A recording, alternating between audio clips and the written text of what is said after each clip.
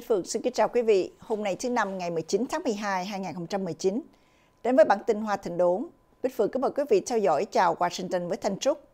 Để mở đầu, Bích Phượng kính mời quý vị theo dõi phần 1. Vị khách mời hôm nay là luật sư Nguyễn Văn Đài đến từ Frankfurt, Đức Quốc. Thanh Trúc xin kính chào quý vị đến với chương trình Chào Washington DC cùng với Thanh Trúc hôm nay là một vị khách mời rất là đặc biệt mà Thanh Trúc à, hân hạnh được giới thiệu đến quý vị, luật sư Nguyễn Văn Đài. Thanh Trúc xin kính chào luật sư Nguyễn Văn Đài ạ. À, xin chào chị Thanh Trúc cùng xin chào quý khán giả của đài SPTN ạ. Vâng, kính thưa quý vị, luật sư Nguyễn Văn Đài là một nhà hoạt động dân chủ và nhân quyền ở Việt Nam. À, ông đã từng qua Mỹ nhiều lần trước đó. À, ông là người đã sáng lập nên cái tổ chức có tên là Hội Anh Em Dân Chủ ở Việt Nam từ năm à, 2013. À, đến tháng à, 12 năm 2015, luật sư Nguyễn Văn Đài bị nhà cầm quyền Việt Nam bắt giam và sau khi mà giam ông trong vòng 28 tháng thì họ đem ra xử và họ kêu án luật sư Nguyễn Văn Đài 15 năm tù giam cộng với 5 năm quản chế. Và đến ngày à, 7 tháng 6 năm 2018, luật sư Nguyễn Văn Đài từ Việt Nam đi qua tại thành phố Frankfurt của Đức và ông ở tại Đức từ đó cho đến nay. À, thưa luật sư Nguyễn Văn Đài, à, đây không phải là lần đầu tiên ông à, đến Hoa Kỳ mà có lẽ đây là lần thứ mấy rồi phải không ạ thưa luật sư? À, vâng, thưa chị Thanh Trúc cùng thưa quý khán giả, à, lần này đến Washington DC là lần thứ tư rồi. Trước đó thì tôi đã đến Hoa Kỳ vào những năm 2000, 2004, 2006. Dạ vâng, cái mục đích của những chuyến đi đó. Vâng, Um, vào năm 2000 thì tôi trở thành à, một cơ đốc nhân à, là người theo đạo Tin lành. Thì sau đó tôi gia nhập Liên đoàn luật sư cơ đốc quốc tế à, có trụ sở tại Washington DC và lần đầu tiên tôi đến Washington DC đó là tham dự hội nghị luật sư cơ đốc quốc tế và sau đó năm 2004 cũng tương tự như vậy. Và năm 2006 thì tôi được Bộ Ngoại giao Hoa Kỳ mời sang đây để học một khóa học về nó có tên tiếng Anh là Grassroots Activism trong vòng 3 tuần. Và dạ vâng. Dạ vâng, rồi như vậy thì bây giờ xin mời luật sư Nguyễn Văn Đài chia sẻ một chút khi mà ông trở về lại trong nước đó yeah. Dạ. với cái hội anh em dân chủ và trong một cái chuyến đi hình như là một cái cuộc họp hay là yeah. một dạ. cuộc nói chuyện gì đó về dân chủ và nhân quyền yeah. Dạ. luật sư Nguyễn Văn Đài đã bị bắt mà khá là mạnh tay nữa yeah. dạ vào năm 2015 xin ông kể lại cái kinh nghiệm đó à, vâng thì đó là một câu chuyện rất là rất là đáng buồn à, khi đó thì vào ngày mùng 6 tháng 12 năm 2015 á, thì nhân uh, trong cái một cái chương trình kỷ niệm ngày quốc tế nhân quyền thì chúng tôi có mở các cái lớp học về nhân quyền bắt đầu từ tháng 11 tôi yeah. tổ chức ở Hà Nội, tổ chức ở Sài Gòn và ngày 6 tháng 12 thì tổ chức tại uh, huyện Nam Đàn của tỉnh An cho khoảng 70 giáo dân công giáo. Thì ngay khi buổi sáng tôi đến đó thì đã bị an ninh họ biết trước rồi, họ theo dõi, họ tìm cách ngăn cản lớp học. Nhưng mà tôi nói rằng là uh, đây là một lớp học về giảng về quyền con người ở trong hiến pháp Việt Nam. Các anh mời các anh ngồi dự nếu như tôi nói sai bất kỳ một câu nào các anh có thể lập biên bản họ bắt tôi tại chỗ không có vấn đề gì cả. Thì sau đó họ ngồi họ nghe tôi giảng từ sáng đến buổi chiều. Sau khi kết thúc thì uh, tôi có đến tôi hỏi họ là thế thì tôi nói có gì sai không? Thì họ bảo là anh nói không sai. Thế nhưng mà tại sao anh lại chỉ có giảng về, về quyền con người mà anh không có giảng về nghĩa vụ của công dân Việt Nam? Thì tôi bảo là công dân Việt Nam họ thuộc nghĩa vụ mấy chục năm nay rồi. Họ đóng thuế họ làm đủ mọi thứ theo nghĩa vụ của nước nhưng mà họ không có biết quyền của họ. Cho nên trách nhiệm của tôi là một luật sư về nhân quyền thì tôi sẽ phải nói cho họ biết họ có quyền gì thế thì ờ, khi mà kết thúc tôi chúng tôi chuẩn bị ra về thì đã phát hiện ra có một số an ninh một xe ô tô tháo biển số chờ ở đó.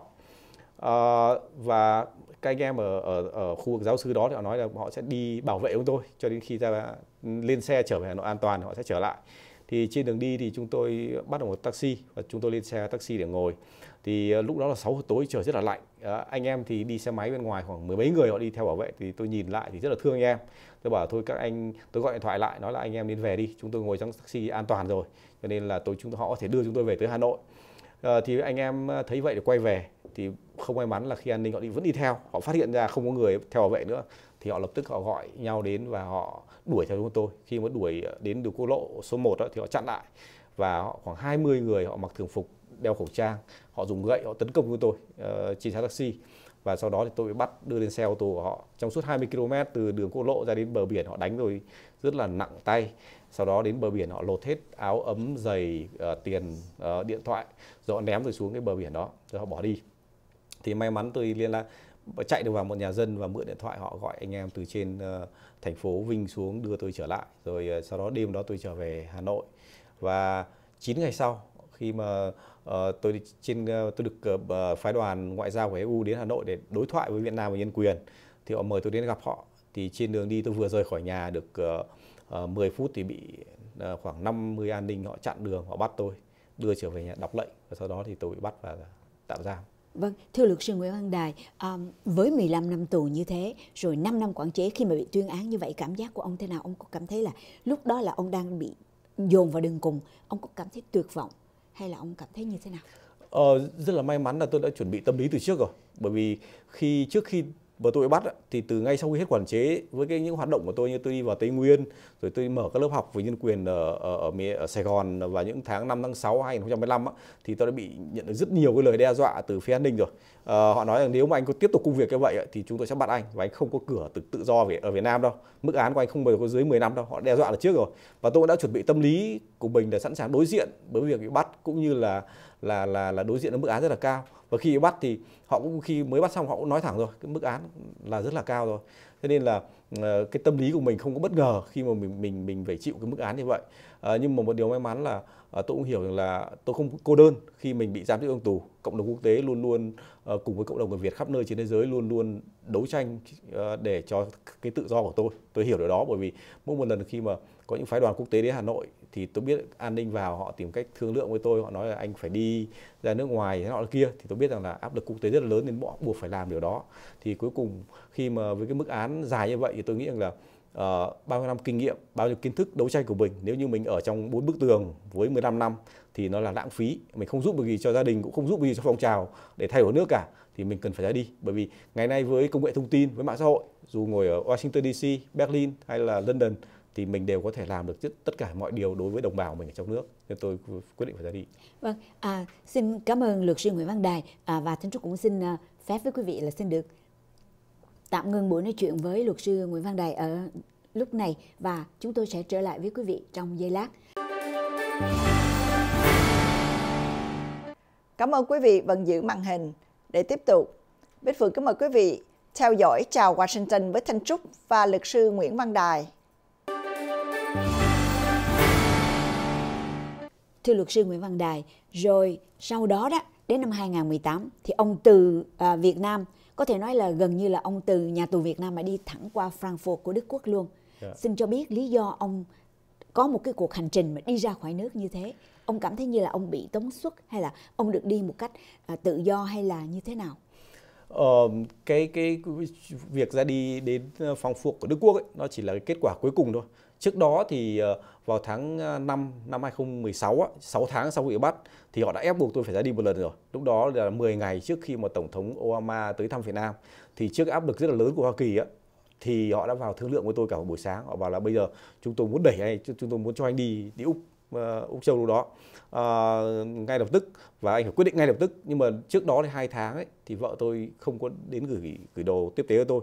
Mà thay vào đó là mẹ tôi thì tôi không hiểu chuyện gì đang xảy ra với với, với vợ tôi vì tôi không không có được gặp vợ cho từ khi bắt yeah. Thì tôi yêu cầu họ là phải cung cấp thông tin về sức khỏe của vợ tôi rồi tôi mới có thảo luận với anh là tôi có đi hay không. Thì họ nói là trong vòng 24 giờ chúng tôi sẽ cung cấp cho anh thông tin về về về vợ và anh phải quyết định ngay lập tức. Thì tôi bảo đồng ý anh cứ cung cấp thông tin cho vợ tôi của vợ tôi tôi sẽ quyết định ngay. Thế nhưng mà sau 24 giờ thì họ không quay trở lại nữa. Thì sau này tôi biết rằng là lúc đó vợ tôi đang đi vận động ở Mỹ ở Úc và ở các nước châu Âu. Cho nên họ không có thông tin để cung cấp cho tôi cho nên là họ họ đành phải phải hủy bỏ cái cuộc thương lượng với tôi để để cho tôi đi Úc trước khi mà uh, tổng thống Obama đến Hà Nội. Sau này thì uh, tôi được biết là chính phủ Mỹ rồi chính phủ Đức Ờ, đều muốn là nếu mà tôi muốn đến đi tị nạn họ sẵn sàng chấp nhận thì sau đó là cả một quá trình thương lượng. Và cuối cùng cái ngày mùng 7 tháng ờ, 6 2018 á, là họ dẫn giải tôi ra sân bay với một cái đội quân rất là hùng hậu. Tức là tôi bị tống xuất bằng một lực lượng vũ trang à, hơn chục cảnh sát giao thông được trang bị súng ống rất là rất là đầy đủ để họ họ được đưa lên sân bay chứ không phải là đi với tư cách một con người bình thường. Cho nên là à, tôi phải rời bỏ gia đình quê hương đất nước của mình ở phía sau để tìm kiếm tự do và cơ hội để tiếp tục đấu tranh cho tự do quê hương của mình Vâng. Dạ vâng. À, lần này đó à, luật sư Nguyễn Văn Đài đến vùng à, Washington DC. Yeah. Dạ. À, có thể nói là đây có thể là cái chuyến trở lại Mỹ đầu tiên khi mà từ Việt Nam đi thẳng sang Frankfurt có phải dạ, không ạ? Dạ, đúng rồi. dạ vâng. Xin cho biết mục đích của chuyến đi lần này của một sư à, của luật sư Nguyễn Văn Đài đến uh, Washington DC ạ. Vâng. Thì uh, thưa chị Anh Trúc cùng quý khán giả thì khi ở Việt Nam á, thì tôi đã có cái mối quan hệ về công việc rất tốt với các cơ quan ngoại giao của Hoa Kỳ tại Hà Nội uh, mỗi khi có đoàn uh, chính phủ Hoa Kỳ hay Quốc hội Hoa Kỳ đến thăm Việt Nam thì tôi đều có cơ hội tiếp xúc với họ. Cho nên um, cũng như là các tổ chức quốc tế khác của của Hoa Kỳ. Thế thì chuyến đi lần này á, thì uh, trở lại thì cũng là một cái cơ hội để tôi có lời nói lời cảm ơn trực tiếp đến những nỗ lực đấu tranh của họ cho tự do của tôi. Khi trong hai năm rưỡi tôi ở cầm tù rồi tôi tiếp tục nối lại những cái quan hệ về ngoại giao cũng như là rất nhiều những cái quan hệ khác để mục đích cuối cùng là gì? À, phục vụ cho cái công cuộc đấu tranh ở trong nước Việt Nam làm sao giúp cho cái phong trào dân chủ ở trong nước phát triển một cách mạnh mẽ để có thể thay đổi nước của mình đem lại cái quyền tự do dân chủ cho người dân Việt Nam.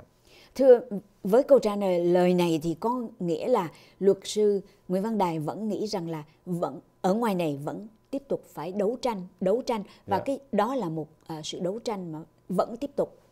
Um, vâng, cái điều đó là chắc chắn rồi. Bởi vì cái sự lựa chọn uh, đấu tranh cho tự do dân chủ Việt Nam ấy thì tôi yeah. đã dạ. lựa chọn cách đấy đúng 30 năm. Lúc đó tôi ở bên Cộng hòa uh, Dân chủ Đức, Đông Đức cũ thì tôi đã lãnh hội được những cái tư tưởng dân chủ người Đức. Rồi tôi, tôi quyết định trở lại Việt Nam. Và trong suốt 10 năm đầu tiên á, thì tôi chỉ có học hành và hành nghề luật sư vì lúc đó chưa có cơ hội Yeah. Đến năm 2000 khi mà trở thành người cơ đốc rồi trở thành thì tôi bắt đầu đấu tranh cho các quyền tự do tôn giáo trong suốt 5 năm.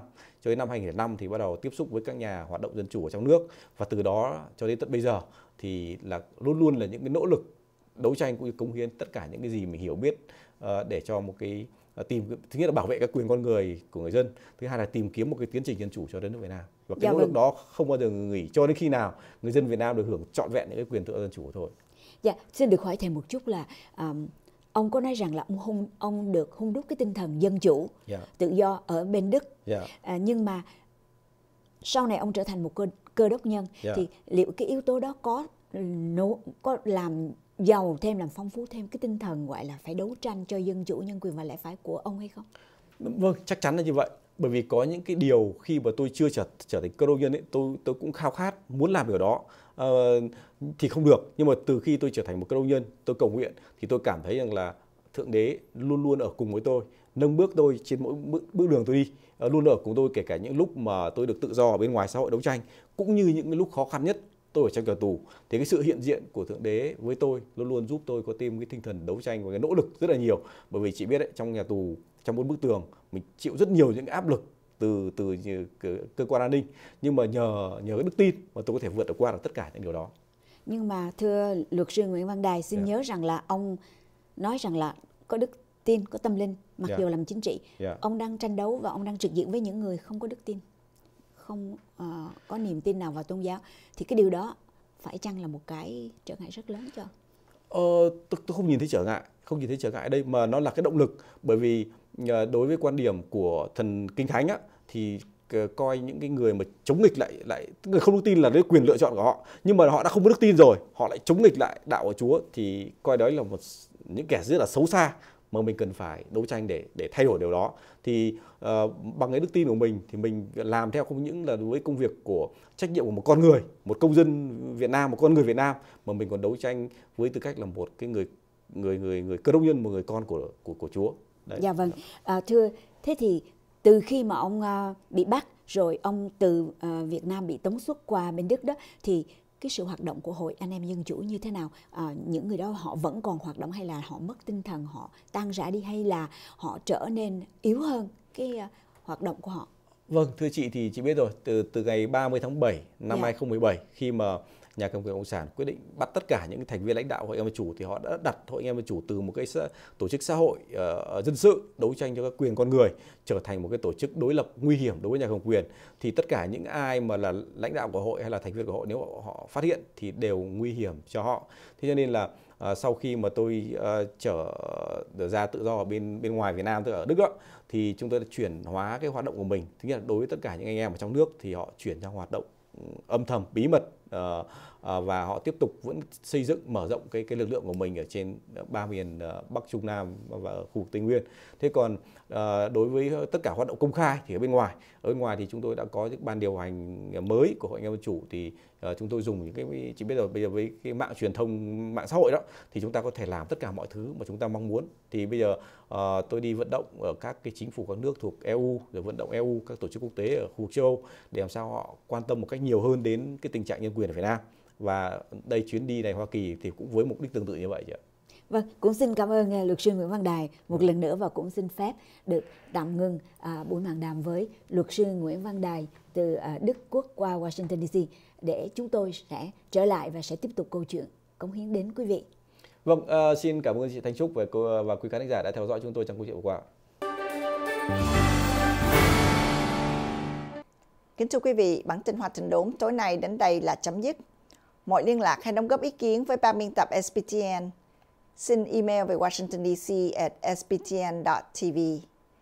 Bích Phượng kính chúc quý vị một buổi tối an vui và hạnh phúc bên người thân và gia đình. Bích Phượng kính chào tạm biệt và hẹn gặp lại quý vị vào kỳ tới.